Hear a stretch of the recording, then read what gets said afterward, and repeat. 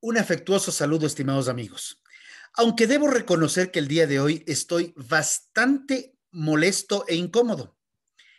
Ayer, nuevamente, en un abuso, en un abuso, se ha bloqueado la vía panamericana por alrededor de cinco horas. Cinco horas aduciendo que hay un daño ambiental por causa del sector productor de brócoli y el sector florícola de la provincia de Cotopaxi si es que esos daños existen, pues hay mecanismos prudentes para llevar a las cortes a hacer investigaciones, probar lo que se está diciendo de manera ética y de manera racional y responsable. No es posible que a cualquier evento simplemente el bloqueo de vías, la destrucción del bien público, el agredir al sector privado sea la opción. Realmente es preocupante, pero así como es preocupante la actitud de ciertos sectores, más preocupante es ver cómo la impunidad reina. Hace dos años se bloqueó la Panamericana Sur a la altura de Machachi por aproximadamente ocho horas. Consecuencias, ninguna.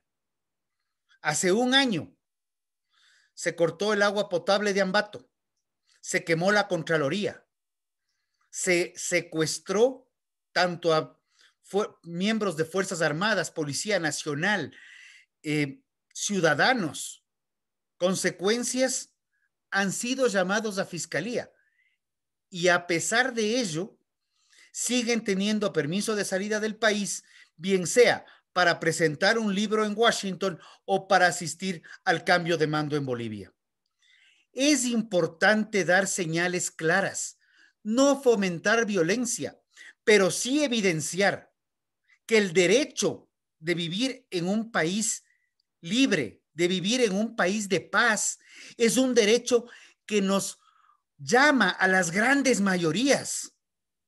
Y respetamos el derecho de las minorías, pero sin afectar a todos los demás ciudadanos. Un llamado a las autoridades, un llamado a los grupos que están descontentos. Busquemos soluciones pacíficas.